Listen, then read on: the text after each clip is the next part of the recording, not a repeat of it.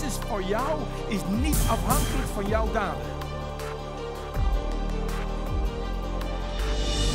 Doop je in de naam van de Vader, in de naam van de Zoon, in de naam van de Heilige Geest, in de naam van Jezus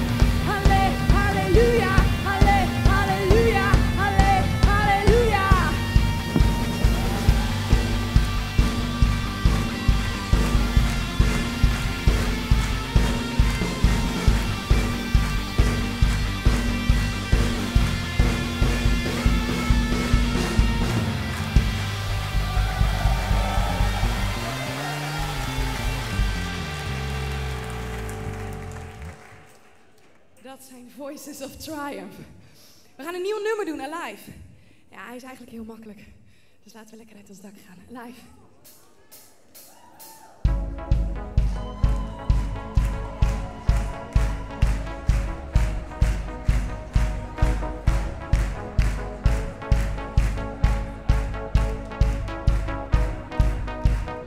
I was lost with a broken heart. You picked me up, now I'm set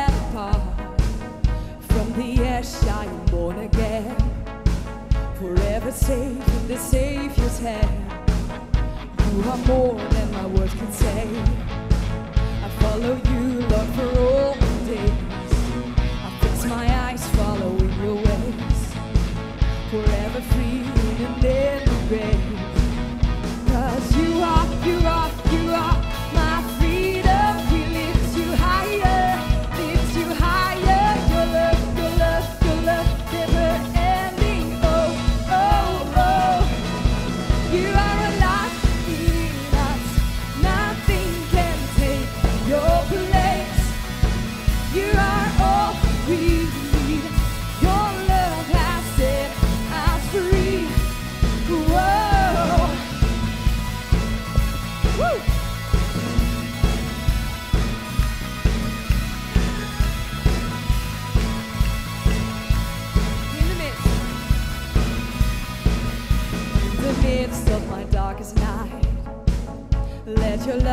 The shining light, breaking chains that were holding me. You sent your son down to set me free. Everything of this world will fade. I'm pressing on till I see your face. I will live that your will be done. And I won't stop till your kingdom come. Cause you are, you are, you are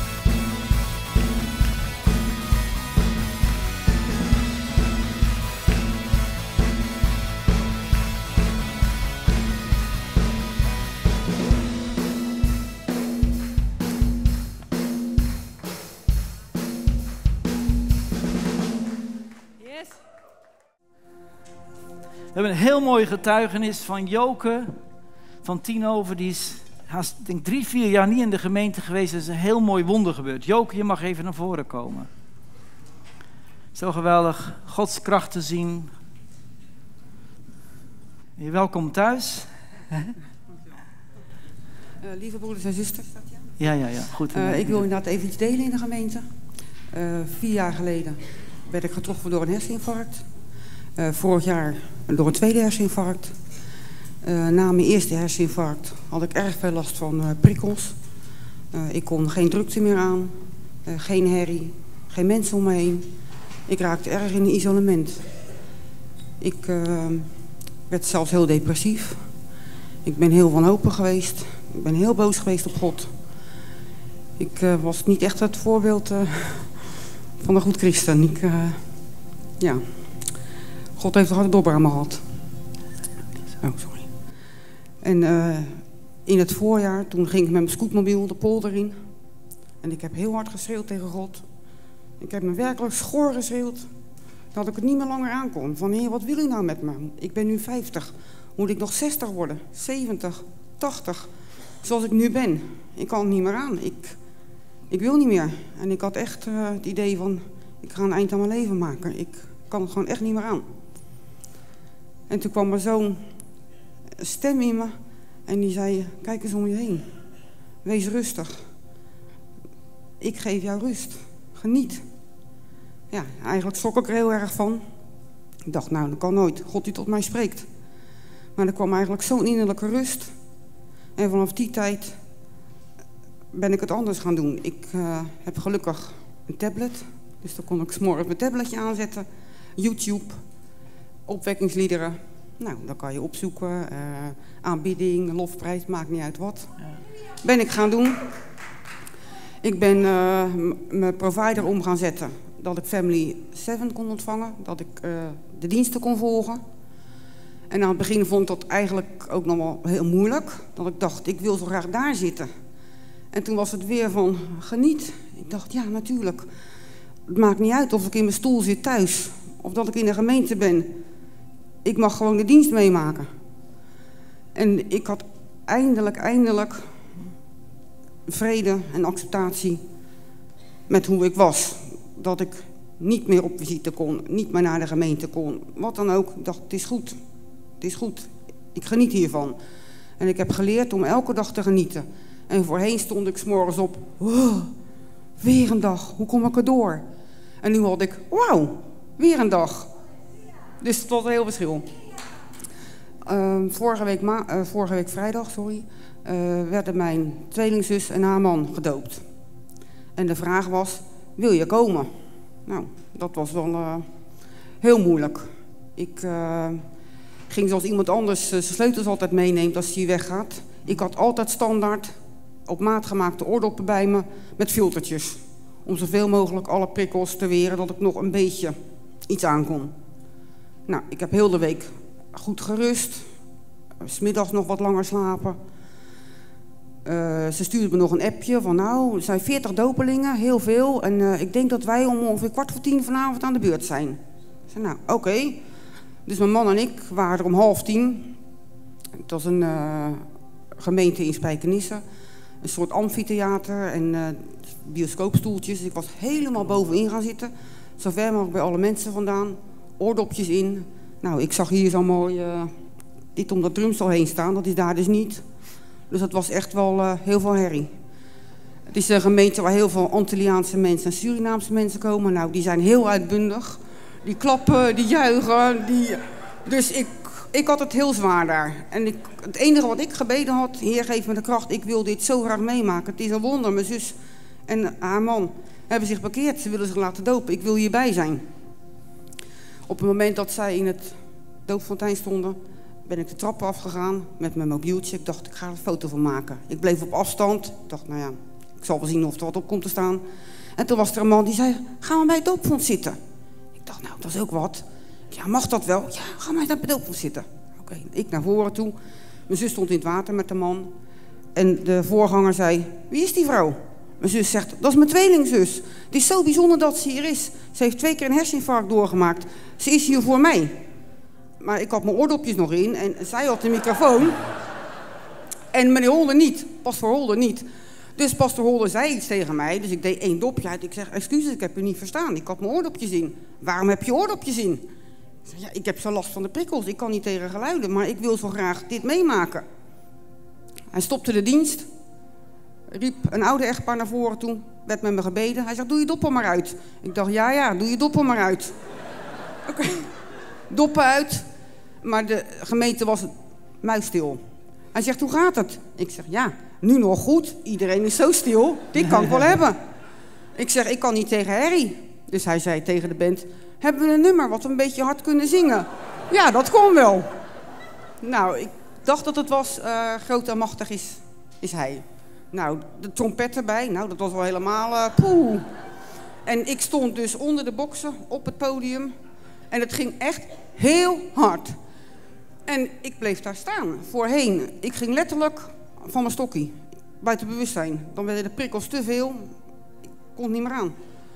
En ik heb daar gestaan, ik kon niet blijven staan, ik viel op mijn knieën. Ik kon, nou, ik, het was zo onvoorstelbaar groot wonder van God. Ik, het kwam normaal mijn gehoor binnen, het ging niet rond in mijn hoofd. Ik kon daar staan, ik heb heel de dienst meegemaakt. Ik kon klappen, zingen, juichen. Ik kon alles. Zo'n wonder.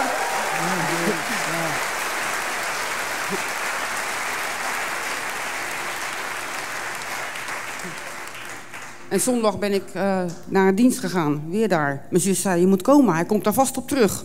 Ik dacht, nou, ik wil toch wel laten zien. Ik zal mijn hand even opsteken als hij het erover heeft, dat ik er weer ben. Dus inderdaad, hij kwam erop terug en ik zwaaide van, ja, het gaat goed met me, ik ben er. Ik dacht, nou, dan komt waarschijnlijk een duimpje terug van, fijn dat je er bent. Maar nee, hij zei, kom naar voren. Ben je alleen? Ik zeg, nee, ik heb mijn man bij me en mijn oudste zoon, want die is zo sceptisch. Die zei, nou, dat geloof ik niet, dat God het gedaan heeft. Die zei uh, vrijdagavond toen ik hem opbelde, hij wil ook niet meer thuis. Uh, nou, ik kom je nu halen, dan gaan we naar de kroeg. Ik zei, huh? Nou, ik heb eigenlijk een beter idee. Kom zondag maar mee. Kan je het zien? Ik dacht, twee vliegen in één klap. Ja. Want hij gaat helemaal niet meer naar de diensten. Ja. En hij kwam mee. En uh, uh, pastor Holder uh, riep hem naar voren. Hij zei, kom eens naar voren jij. Hij zegt, waarom was je zo sceptisch? Wat zie je, wat is er anders aan mama? Hij zegt, ja, alles.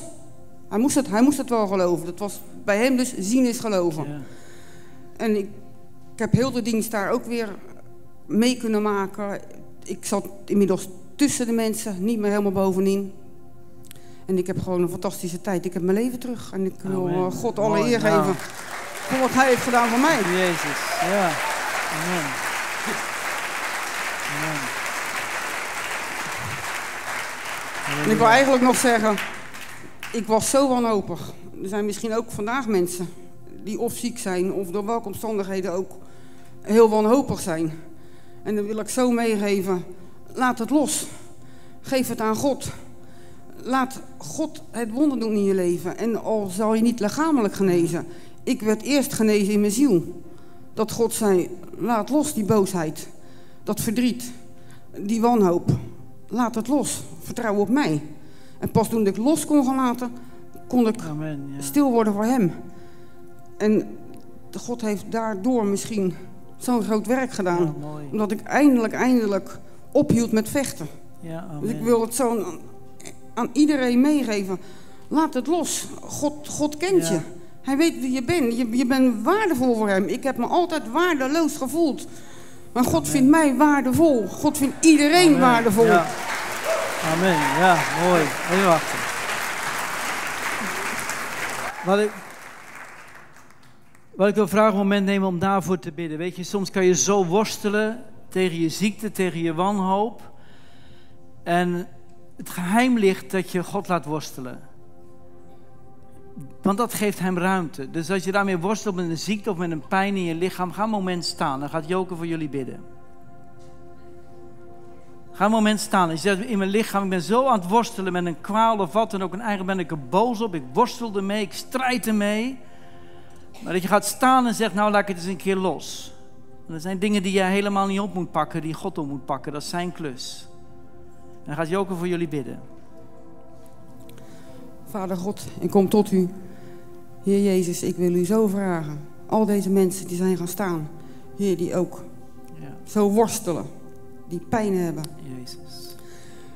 Heer, u heeft alles gedragen aan het kruis. Jezus. U bent zo machtig. Jezus. Alle pijn van de wereld. Alle pijn. Ook jouw pijn. Hij heeft alles gedragen. Laat het los. Breng je nood bij God. Vertrouw op God. Ja, God wil een wonder doen in ieder van uw leven. Dank u, Jezus. Vertrouw op. God. Ja, Laat het los. Strijd niet langer. Wees stil, zodat God kan spreken. Zodat ja, God Jezus. zijn werk kan doen door jou heen. Geniet van het samen zijn hier. Ja, Het is een wonder dat wij hier leven in een vrij Ja, land. Dat we bij elkaar mogen komen om God te eren, te loven, te prijzen. Ga God loven, prijzen voor wat je kan, voor wie je bent. Je bent het waard. God is zo bewogen over ieder van ons hier. Hij wil je zo diep aanraken. Hij wil komen met zijn liefde, met zijn zalving, met zijn genezing. Ja, Ga staan op zijn woord. Lees in je. Bijbel. Vertrouw op God dat hij er altijd is. Kijk niet op de omstandigheden. Kijk omhoog. Kijk naar God. Hij heeft je zo lief. Zijn hand is uitgestrekt naar je. Grijp zijn hand. Grijp het wonder. Ga, ga voor Jezus. Draag het uit. Welke omstandigheden je ook zit. Hoe moeilijk je het ook hebt. Er is een uitweg. God is de weg. Ja, Amen. halleluja. Zullen we handen opheffen? Gaan we Joke bidden ook nog? Hef je handen op. Vader, dank u wel voor Joke, voor het wonder in haar leven. We willen zo haar zegenen, Heer.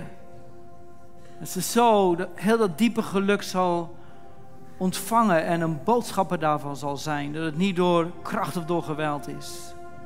Maar het is juist als we rusten in het volbrachte werk. Dat u het grootste wonder kan doen. Dat u niet alleen de ziel geneest, maar ook het lichaam geneest. Maak haar daar een boodschapper van. Bewaar haar, bescherm haar. We zegenen haar, de genezing in haar. En we profiteren over haar dat haar lichaam is een tempel van de Heilige Geest bestemd voor uw heerlijkheid.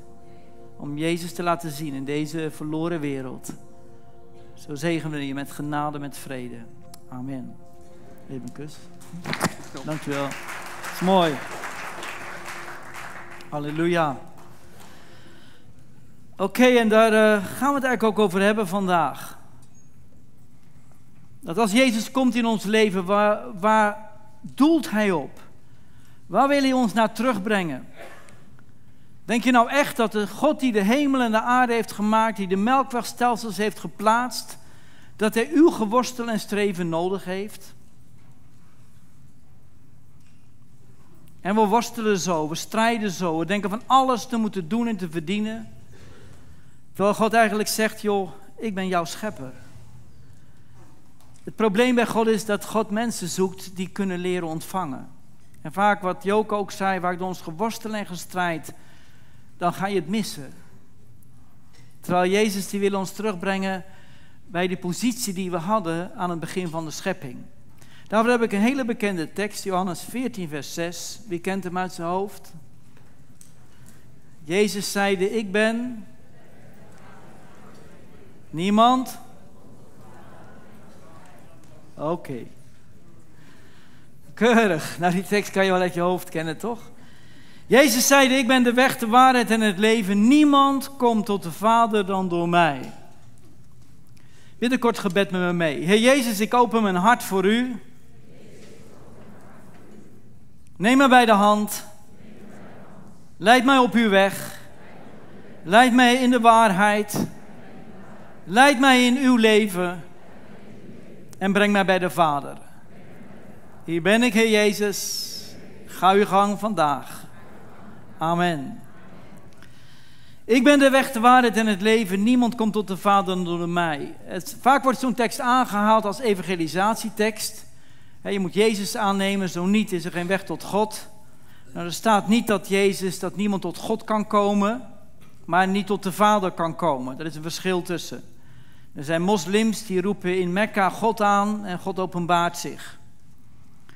Maar hij is de weg tot de Vader. En waar het hier om gaat is dat uh, wat we goed moeten begrijpen wat het doel is van Jezus' komst.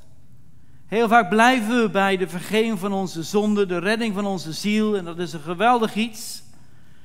Maar er zijn mensen die zijn, komen vaak uit zwaardere kerken en dan zie je pas dat ze tot, als ze 80 of 90 zijn, dat ze een beetje zekerheid hebben van heil.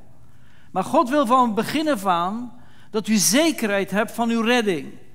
Johannes zegt, deze dingen zijn geschreven opdat je weet dat je eeuwig leven hebt.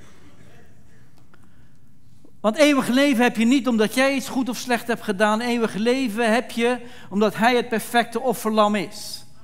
Eeuwig leven heb je omdat Hij een perfecte redder is. Hij is volmaakte hoge priester, Hij is volmaakt offer. Dus je mag zekerheid hebben. Omdat je weet, ik mag leven door wat Jezus heeft gedaan. Punt.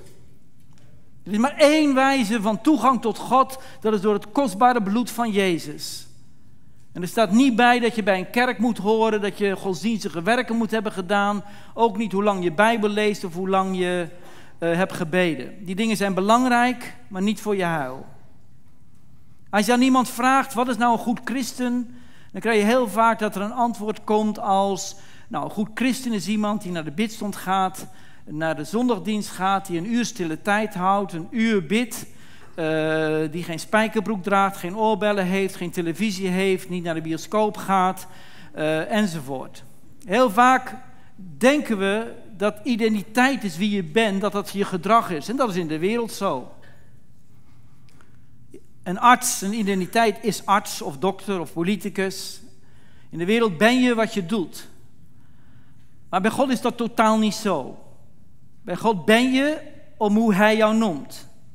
Ben je omdat jij bij een almachtige God behoort. En als Jezus dus zegt dat Hij ons terug wil brengen bij de Vader, dan gaat het om het diepste, uh, diepste godsverlangen. En we zullen ook gaan zien in Genesis dat God heeft ons gemaakt naar ons zijn beeld en gelijkenis. Hij is ons gemaakt om zoon en dochter van Hem te zijn. En niet alleen armzalige zondaars die net met de uh, schoenen over de sloot behouden zijn. Jezus wil ons behouden, maar hij wil ons vooral terugbrengen in een liefdesrelatie met de Vader. Dat je weer weet in God de Vader dat jij zoon en dochter bent. Dat je eeuwig geliefd bent. Dat je mag horen bij het huisgezin van God. En je ziet dat dat de passie is van Jezus. Het doel van wie Hij is, namelijk dat Hij de weg, de waarheid en het leven is. Het doel van wie Hij is, is uiteindelijk om ons terug te brengen in het Vaderhuis. De Bijbel kan je samenvatten als de thuiskomst van de verloren mensenkinderen. De Bijbel begint met de B van bed, het huis van God. En het eindigt in ons hemelste huis, in het Vaderhuis in de hemel. Het is het verhaal van hoe God zijn kinderen thuis wil brengen. En dat je weer gaat weten, er is een plaats in Gods hart. Dat was de passie. De passie van Jezus was ons om weer opnieuw te laten zien in zijn leven wie de Vader is.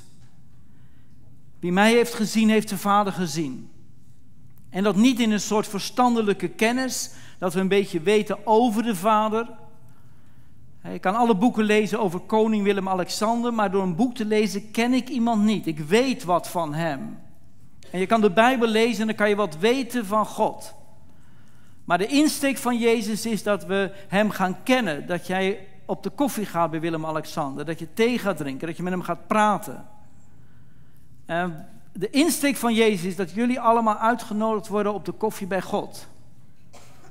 Dat is het doel. En dat je dus dat gevoel krijgt van thuiskomen. Hé, hey, hij ziet mij zitten.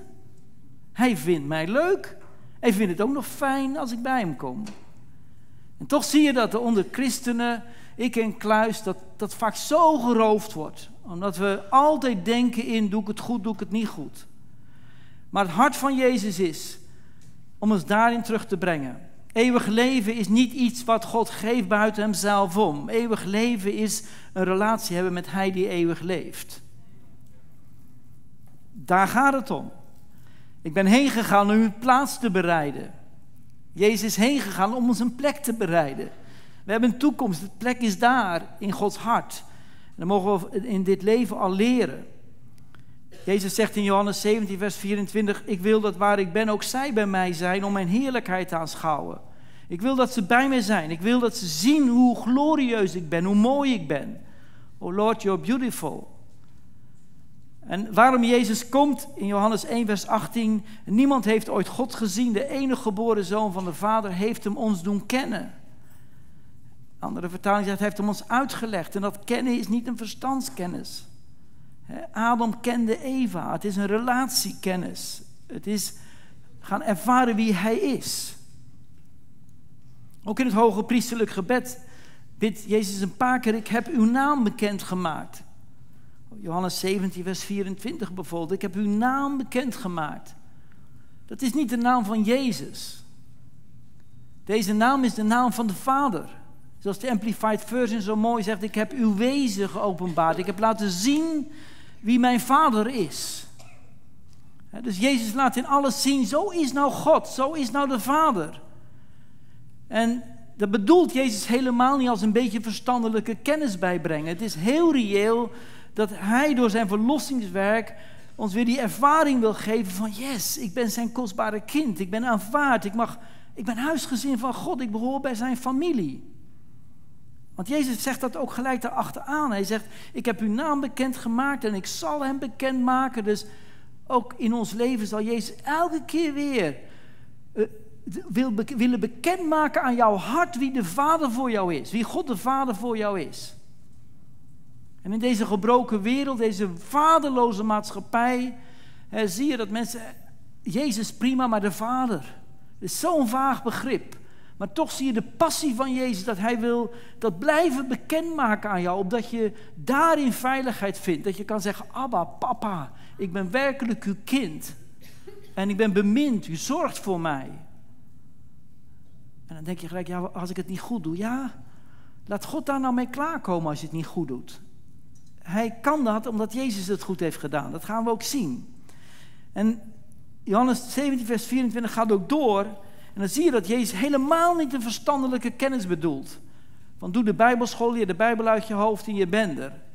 Nee, je ziet dat het om relatie gaat. Hij zegt, ik zal die naam van de Vader bekendmaken, opdat de liefde waarmee uw Vader mij hebt lief gehad in hen zij en ik in hen. Dat is zijn passie. dat je ieder persoonlijk van jullie gaat ervaren van wauw, dezelfde liefde waarmee God de Vader van Jezus houdt, diezelfde liefde houdt hij van mij. dan voel je vaak al, oh, kan dat wel? Ja, maar daarvoor is Jezus om je veilig te stellen, om je het gevoel te geven dat het kan, hè, dat God dus ook zo dichtbij kan komen. Om die reden is Hij de weg, de waarheid en het leven. Wij denken vaak altijd aan een weg, dat is de weg tot. Maar Jezus is ook de weg van de Vader tot jou. In Handelingen 3, vers 18 staat er: Langs deze weg heeft God zijn plan uitgevoerd. Dus langs de weg Jezus vervoert plots God zijn plan. Want als je naar de zondeval kijkt in Genesis uh, eh, 2 en 3, zien we de problemen en waarvoor Jezus de weg, de waarheid en het leven moet zijn. Want in de zondeval zien we dat dus de zonde binnen is gekomen. En die zonde is toegekomen over alle mensen. Romeinen 5, vers 18 en 19 staat dat door één daad van overtreding is de veroordeling tot alle mensen gekomen. Door ongehoorzaamheid van één mens zijn alle zondaren geworden. U bent geen zondaar omdat je verkeerde dingen hebt gedaan, gezondigd hebt. U bent het omdat u deel uitmaakt van de eerste schepping. Omdat we allemaal van Adam afstammen. En dan kan je zeggen, ja dat is stomme verhaal. In de Bijbel geloof ik helemaal geen niks van. We zijn uit de apen. Prima, mag u geloven. Maar het probleem is dat overal ter wereld we zitten met de gevolgen van die zondeval. En dat waar je ter wereld komt, bij de Papua's in India en Zuid-Amerika, waar je komt, zal je merken dat mensen dus problemen hebben met zonde. En zonde betekent eigenlijk je doel missen. In het midden van de oceaan is er zo'n groot uh, gedeelte, zo groot als Nederland, wat alleen maar kilometers plastic is, weet je wel. We hebben, zo missen we ons doel. Overal ter wereld zie je dat mensen hun doel missen, omdat ze niet meer weten wie ze zijn in God en Hem niet meer kennen. En dat doelmissen zie je overal ter wereld. Overal ter wereld zie je ongehoorzaamheid. Overal ter wereld zie je de gevolgen van schuld en schuldgevoel. Overal ter wereld zie je mensen worstelen met schaamte. Overal ter wereld zie je mensen worstelen met angst, met veroordeling, met het gevoel van straf. En dan zegt Jezus tegen deze gevallen wereld: Ik ben de weg. Ik ben de weg voor jullie vergeving. En waarom is dat zo? Want ik heb jullie zonde gedragen. En omdat ik jullie zonde heb gedragen, kan ik jullie rechtvaardigen. Kan ik jullie schuldvrij verklaren. Omdat ik het oordeel heb gedragen aan het kruis, kan ik jullie vrijzetten van elke veroordeling. Omdat ik jullie schaamte heb gedragen en naakt aan een kruis heb gehangen, kan ik jullie schaamte wegnemen omdat ik in totale verlatenheid van de Vader heb gehangen aan een kruis, kan ik jullie eenzaamheid en verlatenheid wegnemen. Omdat ik, omdat ik de hele straf van de mensheid heb gedragen, is door mijn stream is jullie genezing geworden. Is de straf die ons tevreden aanbrengt, was op mij. Dus de Bijbel zegt, langs deze weg heeft God zijn plan uitgevoerd. Jezus is niet zomaar de weg tot, hij is ook de weg tot jouw vergeving, de weg tot jouw eeuwige verlossing, de weg tot herstel in jouw leven. Heel vaak blijven we daarbij en dat is ook goed. Drink dit in. He, besef dat God werkelijk de weg voor jou is en dat God zijn plan kan volvoeren als jij Jezus aanneemt als jouw weg voor vergeving en verlossing en herstel. En dat je zegt, dank u Jezus. Mijn zonde heeft u gedragen, want nu ben ik rechtvaardig, maar ik ben schuldvrij. Maar toch is dat maar één ding. Jezus zegt niet, ik ben alleen de weg. Jezus had ook kunnen zeggen, ik ben de weg, de waarheid en het leven en het licht en de opstanding en de goede herder. Dat is hij ook. Maar hij gebruikt die drie dingen omdat het de drie hoofdproblemen zijn van de zondeval. Want die weg hadden wij nodig om die gevolgen rechtvaardig weg te nemen. Volgende is dat hoe is die zondeval begonnen? Door twee keiharde leugens van de duivel over God en over ons. En want zo begon het. Het begon helemaal niet met ik ga eens lekker ongehoorzaam zijn. Of lekker appeltje, weet je wel. Zomaar dat begeertes ontstaan. Het begon met een geloofscrisis. Met een twijfel in het hart van Eva over de goedheid en de liefde van God. Want dat is wat de duivel zaaide. En zolang ik denk over God dat Hij niet liefdevol is, vol van genade en vol van goedheid, en dat Hij niks nodig heeft wat ik Hem kan brengen, waardoor Hij mij meer kan zegenen, als ik dat niet besef en ik heb een verkeerd godsbeeld, zal ik nooit kunnen groeien in mijn geloof. Zal ik nooit dieper vertrouwen kunnen hebben. En dat is precies waar de duivel binnenkomt. God heeft zeker wel gezegd, je mag niet eten van enige boom in de hof. Zie je wel, God gunt je niks. Dat is de leugen die hij brengt. God is niet goed. En God gunt je wat niet. En, en, en, dat maakte dat er al twijfel kwam in haar hart. En je ziet dat Eva begint te twijfelen en dat ze zelf die leugen gaat geloven. Weet je, waarom heeft God gezegd dat we niet moeten eten van die boom van kennis van goed en kwaad? Het is, God, weet je, het is, een, het is, een, het is die boom van onafhankelijkheid. Als ik kies voor het goede, gaat God me zegenen. Als ik niet het goede doe, dan zegent God me niet. Weet je, dat heeft God niet nodig. In God is helemaal geen kwaad. God heeft gewild dat wij leren leven vanuit zijn goedheid en vanuit zijn liefde. En van dat hij alles heeft en dat hij ons gemaakt en gevormd heeft. God wil leren dat we leven vanuit zijn volheid. En dat zijn we allemaal verloren en dat komt Jezus terugbrengen. Uit zijn volheid hebben we alle ontvangen, zelfs genade op genade. En dat is de leugen die de duivel gaat zaaien. Weet je wat, nou die God van jou die is echt niet zo goed hoor. Want God had gezegd, alles mag je hebben. Alle bomen. Hij had heerlijke vruchtbomen geplant. Maar u komt niet aan die boom. Want dan stap je in onafhankelijkheid. En lieve schat, zonder mij kan je het niet. En dan kan je wel proberen het goede te doen zonder mij, maar dat lukt je nooit. Want het gaat niet om het goede en slechte. Het gaat om dat je mijn leven ontvangt. En dat je mijn relatie ontvangt. En dat je mijn liefde ontvangt. En dat je daaruit leert te leven. Eén leugen. Tweede leugen is dit. Maar de slang zei tot de vrouw: Maar je zal helemaal niet sterven hoor. Maar God weet dat op de dag dat je daarvan eet, man, dan gebeurt het dat je ogen zullen opengaan. En je zal als God zijn. Jij kan zelf bepalen wat je doet in het leven. Dat is toch de, Leuze in de wereld, onafhankelijkheid. Ik bepaal wat goed is, ik bepaal wat kwaad is, ik bepaal mijn weg. We gingen allemaal onze eigen weg. Dat is de weg van de wereld, toch? Stoer. En God? Tuurlijk niet. We komen uit een oerknal. Tuurlijk niet. We komen uit de apen. We zijn gewoon maar mensen, weet je. Dat gaat toch voorbij in dit leven. Want wij zijn God. En, en maar zeggen dat de Bijbel niet waar is. We zitten er allemaal nog mee, met die geest. Heel de wereld streeft voor hun rechten, hun onafhankelijkheid en de recht van die en de recht van dat. En we gaan voorbij aan het recht van God. God zegt, joh, daar moet je helemaal niet van eten. Want ik ben goed en ik wil gewoon met je wandelen, man. Je bent mijn kind. Je bent mijn, bij mijn familie. Relatie. En, en, en dat is de leugen die de duivel brengt. En de kern van die leugen is dit. Je moet wat doen om God te worden. Als je dat doet, daarvan eet, dan word je God.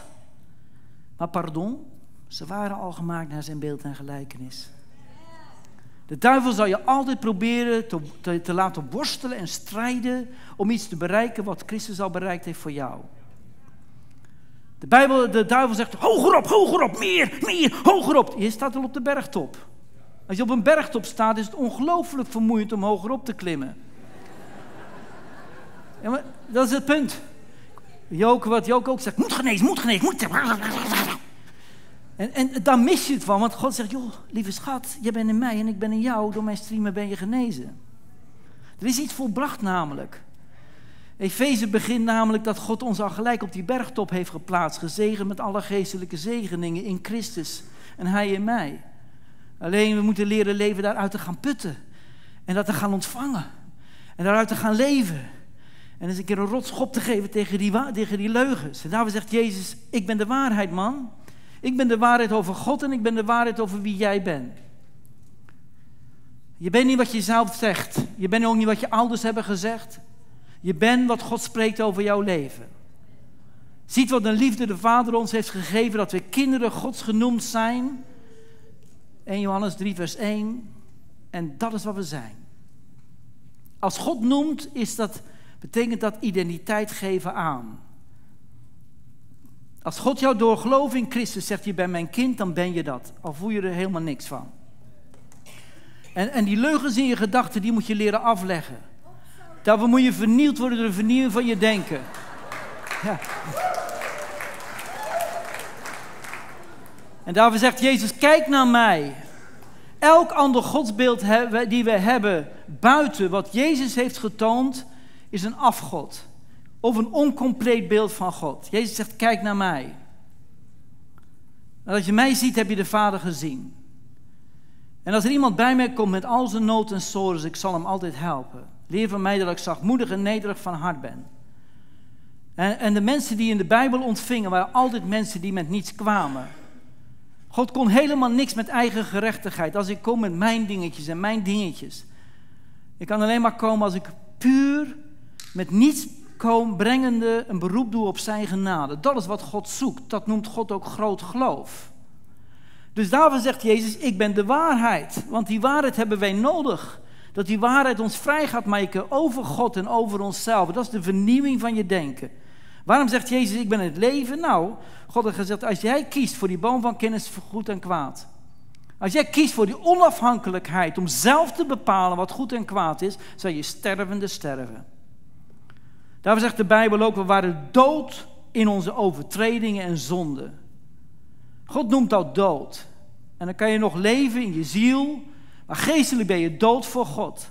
Omdat je je eigen weg gaat, omdat je hebt gekozen voor, voor, voor, voor de eigen keuze van goed en kwaad. En daarvoor zegt Jezus, ik ben het leven. Waarom? De Bijbel zegt ook in Efeze 2, vers 4, God echter die rijk is aan erbarming heeft om zijn grote liefde waarmee hij ons heeft liefgehad, ons, hoewel we dood waren door de overtredingen, medelevend gemaakt met Christus. He, dus ook voor die gevolgen van die zondeval zegt Jezus, jongens, ik ben het leven.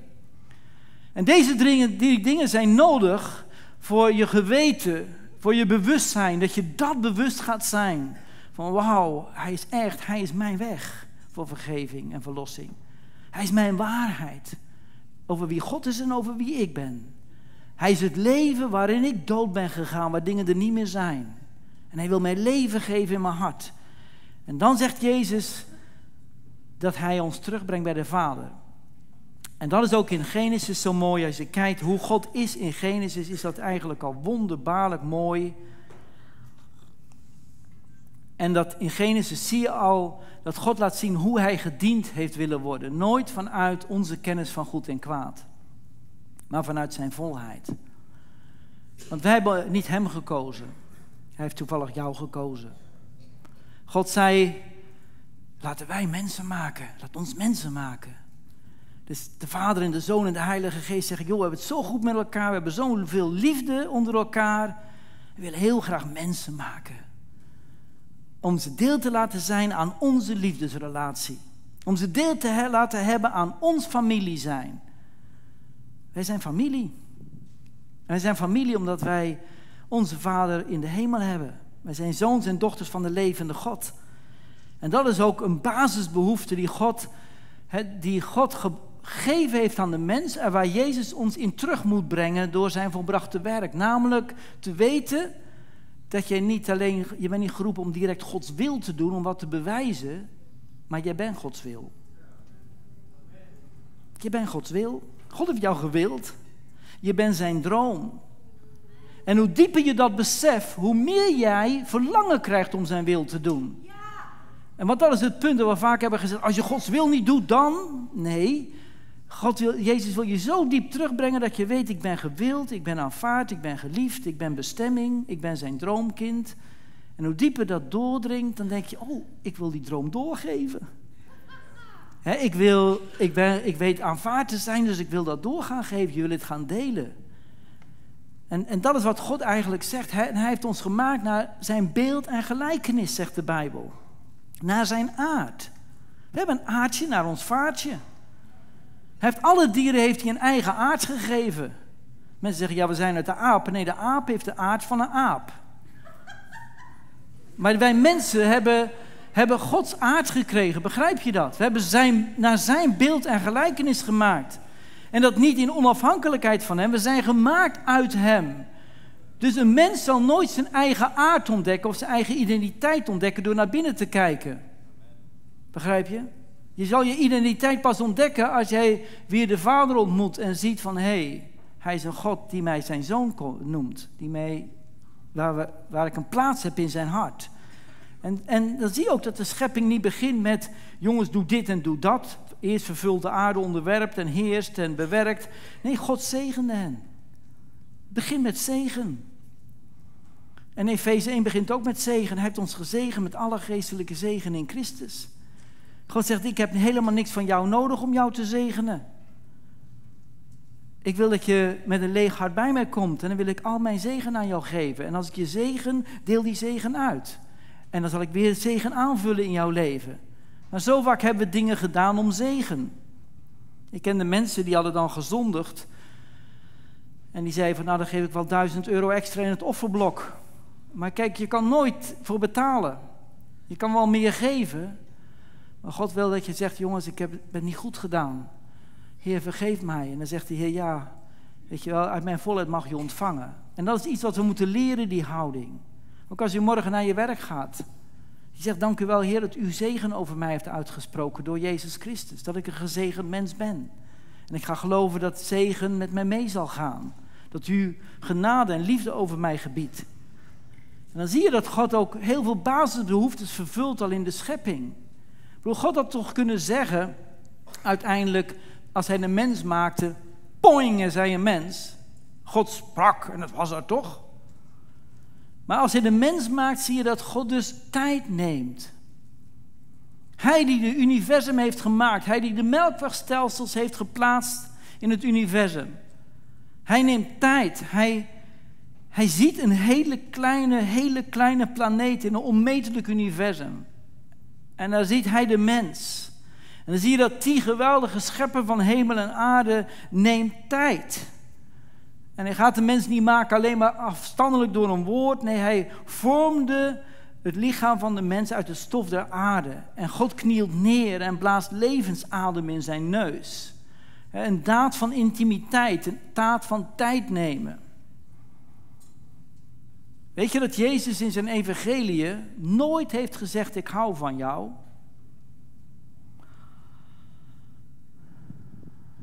Chockerend, hè?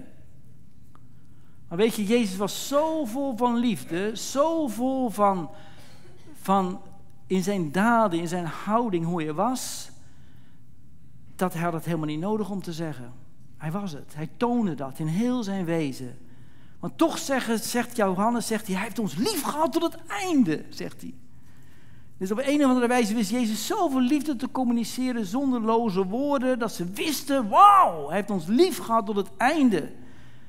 Ja, Johannes zegt vijf keer, ik ben de discipel waarvan Jezus zoveel houdt. Wauw, hij houdt zoveel van mij, hij houdt zoveel van mij. Hadden ze allemaal moeten zeggen. Maar Johannes pakte dat op, die ontving dat. Hij is erg, Jezus houdt van mij. Terwijl Jezus het nooit had gezegd. Als we Genesis lezen, denk je, ja, ja, dan kan je een verhaaltje lezen. Maar als je na gaat denken, dan zie je het wonder.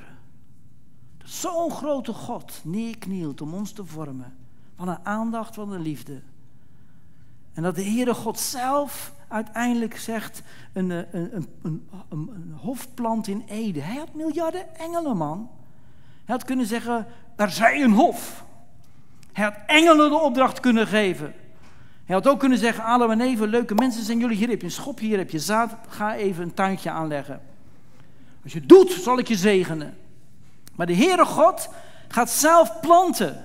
De Heere God pakt, om het zo te zeggen, een schopje in zijn handen. En die gaat prachtige vruchtbomen planten voor ons. Hij laat vier rivieren stromen door die hof. En die hof betekent een ommuurde tuin. Hij creëert veiligheid. Dat is, dat is de Vader. En hoe is je godsbeeld? Denk jij zo over God? Zie jij God zo, die zich zo investeert in jouw leven? Zie jij de Vader neerknielen bij jou en zeggen: Mag ik jou de voeten wassen? Nou, hoor, ik wil wat doen, ik zal wat meer gaan bidden. Maar durf je te ontvangen? Jezus zegt: Joh, Petrus, als ik jou de voeten niet was, heb je geen deel aan mij. Ja, maar dan moet ik ook u de voeten wassen. Nee, we hoeven niet de voeten van Jezus te wassen. Je moet toestaan dat Jezus jouw voeten wast. En durven zo in, zo'n beeld te denken: Wauw, God is een God die aandacht voor mij heeft. Hij neemt tijd voor mij. Hij heeft mij gevormd in de moederschoot. Hij geeft mij een kus. Hij geeft mij leven. Hij plant een tuin voor mij. Hij plant heerlijke vruchtbomen voor mij. En die hof heet Ede. Betekent de tuin van zijn pleasures, van zijn vreugde, van zijn genieten. God zegt: Het eerste wat ik wil is dat je nou geniet van wie ik ben en jij mag zijn. En dan komt die vuile duivel komt binnen. Met dat beeld kapot te maken van een liefdevolle vader. En met het schitterende beeld van de mens kapot te maken. En de leugens die binnenkomen. Gisteren stond in een AD een verhaal over een jongen die was gepest op school. En hij vond zichzelf ook, omdat ze altijd zei dat hij lelijk was en een pukkel had en weet ik wat, ging hij lang haar dragen en een pet op. En hoe langer hoe meer vond hij zichzelf vreselijk lelijk. En nu stond er een foto in de AD van hem. Op een gegeven moment had hij ontdekt van ja, maar eigenlijk houden mensen toch wel van hem. Ik toch wel wat moois. En hij was gaan geloven dat er toch wat moois was in hem. En op een gegeven moment had hij zijn petten af en zijn haren afgedaan. Hij was kaal geschoren. Maar als je die foto zag van een hele pagina, dacht ik van een mooie gast is het. En dat doet leugen, hè. Het haalt zo alles naar beneden wat God mooi heeft gemaakt. Ook de shofar. En God zegt, Heer, Hij maakt ons een levend wezen.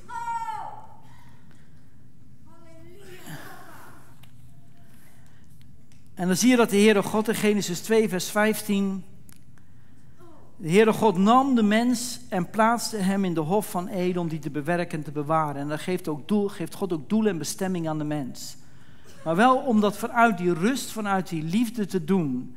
De Heere God nam de mens. Letterlijk staat er, hij, zoals een man zijn vrouw neemt. Dat is het Hebreeuws. Hij huwt je, hij gaat relatie met je aan. Niet om het alleen te doen, maar hij gaat relatie met je aan en dan draagt hij je in de hof. Letterlijk, hij doet je rusten in iets wat volbracht is. Dus ook in de schepping zie je dat God wilde dat wij leven vanuit een volbracht werk. En dan wil Hij met ons samenwerken. Dat bewerken en bewaren is samen met Hem doen. Het samen met Hem doen. Daarvoor worden we medewerkers Gods genoemd. En daarvoor zien we ook dat de Heere God in het Nieuwe Testament, dat Jezus ook ons plaatst in een volbracht werk. In iets wat gedaan is. En dat we daaruit mogen leren leven. daaruit mogen leren God te dienen. En God plaatst ons dan niet alleen. Hè? Hij wil hechting met ons hebben, hij wil relatie met ons hebben. Maar God zei ook, het is niet goed dat de mens alleen is. En dat gaat niet alleen over het huwelijk. Het gaat ook dat God heeft gewild dat wij in relatie met elkaar zouden leven. In relatie met God en in relatie met elkaar. En dat zie je ook zo mooi in de handelingen, dat we samen, samen met de gemeente, samen met alle heiligen. We hebben niet alleen de Heere God nodig, dat hebben we nodig. Maar je hebt ook je broer en zus nodig. Hij plaatst ons ook in afhankelijkheid van elkaar. En soms heeft juist je broer die jij uit de weg loopt de gave om voor jou te bidden. Om jou te geven wat jij niet hebt.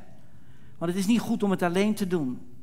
Maar alleen samen met alle heiligen zullen we gaan ervaren hoe hoog en hoe diep en hoe breed en hoe lang de liefde van Christus is. en te komen tot de volheid van God. En dat is het doel wat Jezus heeft. God heeft alles voorzien. En in Christus heeft hij helemaal alles voorzien. En in Christus wil hij ons daartoe terugbrengen. Om opnieuw gewoon te ervaren de goedheid en de liefde van God. En dat je met heel je hart kan zeggen, u bent mijn papa en ik ben uw zoon. En dat, je, dat dat bewustzijn wordt gereinigd en je denken wordt vernield. Dat je zo kan je grote dingen van God verwachten. Dat je gewoon ziet in zijn, in zijn ogen van goedheid en van liefde. Amen. Dank u Jezus. Zullen een moment bidden?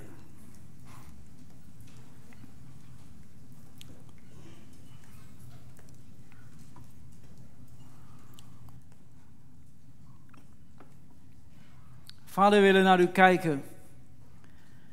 En ook kijken op de liefde die u ons heeft gegeven. Dat wij kinderen van God genoemd worden. En dat we mogen zijn hoe u ons noemt. Dat als u tegen mens zegt, je zonden zijn je vergeven, dat dat scheppende woorden zijn. Als u tegen mens zegt, wees genezen, dat dat scheppende woorden zijn. En u noemt ons uw kinderen, we hebben dat niet zelf verzonnen, maar door geloof in Christus noemt u ons rechtvaardige en geliefd in Christus. Ik wil bidden, Heer, dat u ons bewustzijn heel diep reinigt met uw bloed en dat we altijd vernieuwd zullen worden in de vernieuwing van ons denken. Om te denken hoe u denkt over de mens. Om de Heilige Geest te vertrouwen als Hij ons Jezus openbaart en als Jezus de Vader openbaart aan ons hart. misschien vandaag ben je hier en worstel je nog zo met schuld, met zonde in je leven, met schaamte, met angst voor God. En ben je zo aan het twijfelen of je wel eeuwig leven hebt, of je wel behouden bent, of je zonden wel zijn vergeven. Jezus zegt vandaag ook tegen jou: Komt alle tot mij die vermoeid en belast zijn. Het is één stap. Jezus zegt één ding, als je in mij gelooft, heb je eeuwig leven en kom je nooit in het oordeel.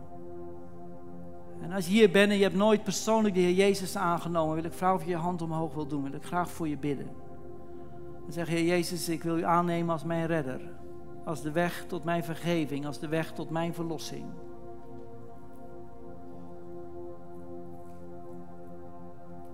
En Jezus doet jezelf die oproep. Hij zegt, kom maar tot mij, bij mij. Hij is voor jouw zonde gestorven, hij is voor jouw verlossing gestorven. Is er iemand die zegt, dat wil ik. Ik wil bij Jezus komen vandaag. Wil geloven in zijn naam. En gelovig eeuwig leven hebben. Als je handen omhoog hebt gedaan, kom een moment naar voren toe. Kom maar even naar voren. Als je, als je zegt, dat wil ik. Ik wil eeuwig leven hebben.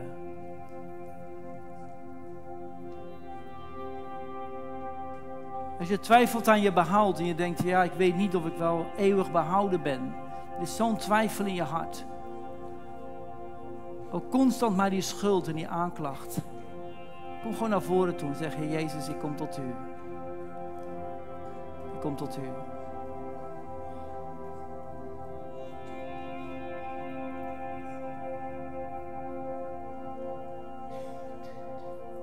Een moment voor je bidden.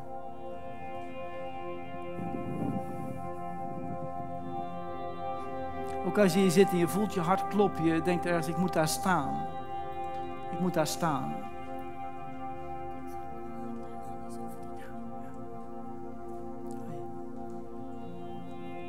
Ik ga een moment voor jullie bidden. Goed. Dankjewel dat je hier staat. Dit maar een kort gebed met me mee. Zeg maar, Heer Jezus, ik heb u nodig. Ik heb vergeving nodig. Ik herken dat ik het zelf niet kan. Vergeef mij, Heer Jezus. Dank u wel dat u stierf voor mijn zonde. Voor mijn schuld. Voor mijn schaamte. Voor mijn angst. Was mij schoon, Heer Jezus. Met uw kostbare bloed. Dank u wel dat ik uw kind mag zijn. Omdat u alles heeft volbracht voor mij. Zo neem ik u aan als mijn redder en verlosser. En dank u dat u mij aanneemt als uw kind. Dank u wel, Heer Jezus. Amen. Dank u wel, Heer, voor dit leven. Raak haar zo aan met uw genade, met uw liefde, Vader. Het kostbare leven ook. Dat ze zo weet, ik kom thuis. Welkom thuis bij God. Amen. U mag even meelopen.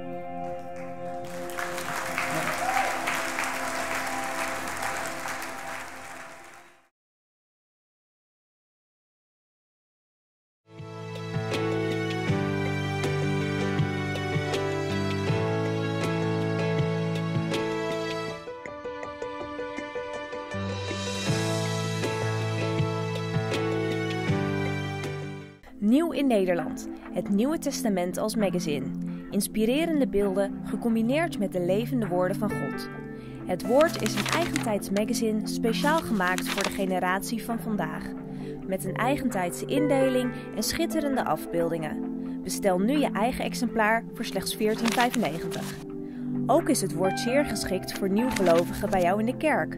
Kijk voor meer informatie over speciale tarieven op www.hetwoord.nu. Church Life Magazine. Het christelijk magazine met inhoud voor alle gelovigen.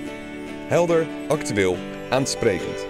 Met 76 pagina's vol onderwerpen over alles wat zich in het gemeenteleven afspeelt.